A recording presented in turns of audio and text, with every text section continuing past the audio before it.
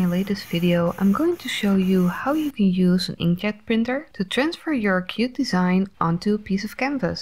In this video series I'll be showing you a couple of different techniques.